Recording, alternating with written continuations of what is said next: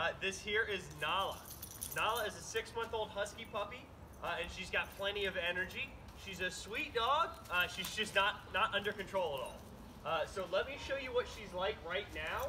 Uh, parents say she jumps up a lot, uh, you know, to say hello. She pulls a lot on the, on the leash when walking, uh, but that's the most of it. So let me go ahead and show you what his, her commands are like right now, uh, and then we'll uh, check back in 14 days later to show you the kind of progress we Nala, come.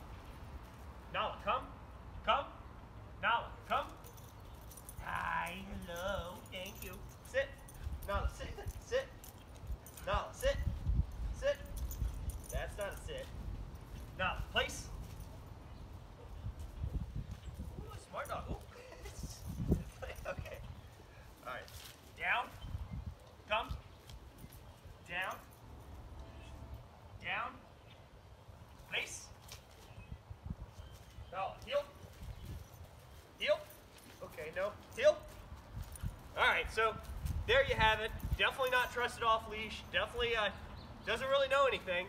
Uh, but give me 14 days with her. You'll see a complete transformation.